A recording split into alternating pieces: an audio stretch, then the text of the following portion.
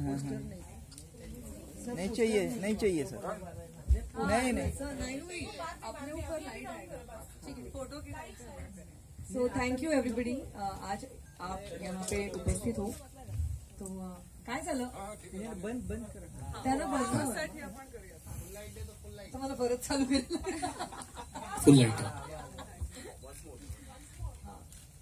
thank you everybody for coming here खूब उपस्थिति है। आज बहुत सब लोग आए हुए हैं।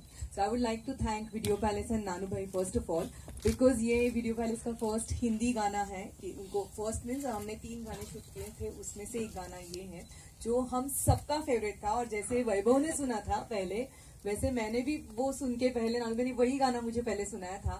तो बहुत ट्रिकी